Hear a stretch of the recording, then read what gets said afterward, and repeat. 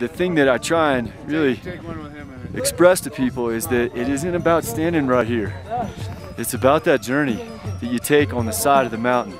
And the side of the mountain journey, that's where it all happens.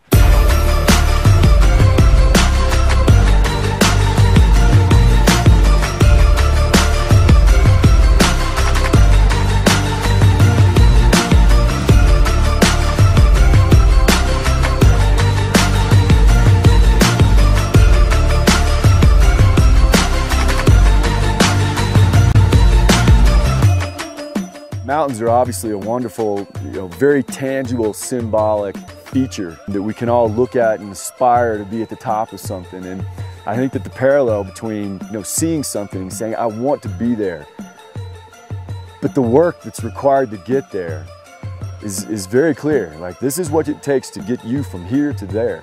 You can't shortcut. You have to be honest with yourself. And I think that that's a real, you know, a true um, um, definition of what it means to really strive in, in everything that we do, um, whether it's professionally or personally.